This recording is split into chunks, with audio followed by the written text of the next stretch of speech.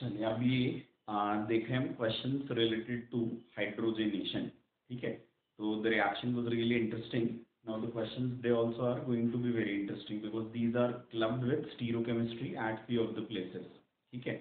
तो ध्यान से करना है क्वेश्चन स्टीरो इंक्लूडेड रहेगा इनमें कहीं कहीं पर, है ना? स्पेशली जो शुरू वाले रिएक्शंस बनाने वाले क्वेश्चन हैं, है ना? तो इनमें आपको क्या करना है यहाँ पर? तो हम बोलेंगे रिएक्शन में प्रोडक्ट्स बताने और प्रोडक्ट्स में स्टीरियो केमिस्ट्री को इंक्लूड करना है।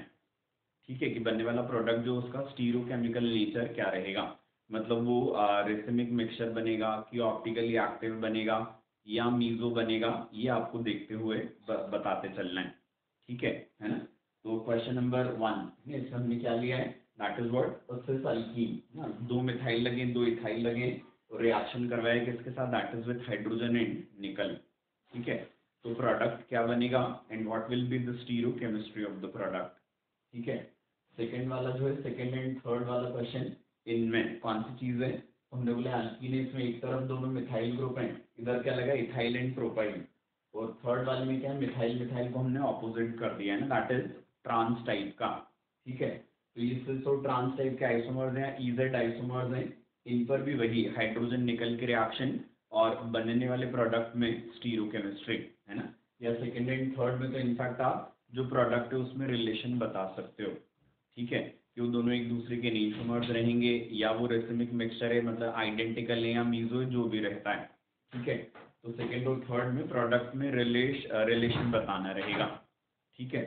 फिर इसके बाद फोर्थ वाला क्वेश्चन है इसमें भी एक साइक्लिक कंपाउंड हमने लिया है is substituted with methyl group at the adjacent carbon to double bond ठीक है? यहाँ भी हाइड्रोजन निकल से बनने वाला प्रोडक्ट और उसकी स्टीरो केमिस्ट्री ये देखनी रहेगी। इसके बाद question number five and six इनमें फिर से। मैंने क्या लिया हमने यहाँ पर? तो हम बोलेंगे फिर से ये वाला जो आइसोमर फिफ्थ वाला this is trans and this is fifth क्या लगे हुए इसमें? Bromine bromine and methyl methyl ठीक है? यहाँ पर भी वही करना है हाइड्रोजन और निकल इसके साथ जो प्रोडक्ट बनेगा वो बताना है।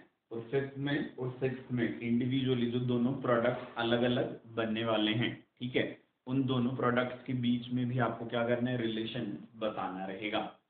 समझ आ गई बात ये? तो question number one two six इनमें प्रोडक्ट प्रोडिक्शन के साथ क्या करना है स्टीरो केमिस्ट्री को आपको रिलेट करते चलना है, ठीक है? सेकेंड थर्ड में प्रोडक्ट में आपस में रिलेशन और फाइव सिक्स में प्रोडक्ट में आपस में रिलेशन आपको बताना रहेगा। ठीक? समझ आ गई बात ये? है ना? अब इसके बाद से क्वेश्चन नंबर सेवन है। क्वेश्चन नंबर सेवन में हमसे क्या पूछा है which has greater heat of hydrogenation. It is propine or it is 1,4-pentadiene. ठीक है? है ना? क्या बोले हमसे? ये दो कंपाउंड हैं propyne and one four pentadiene ठीक है? इनमें हीट ऑफ़ हाइड्रोजनेशन किसका ज़्यादा रहेगा? ठीक है तो ये एनालाइज करके बताना है आपको।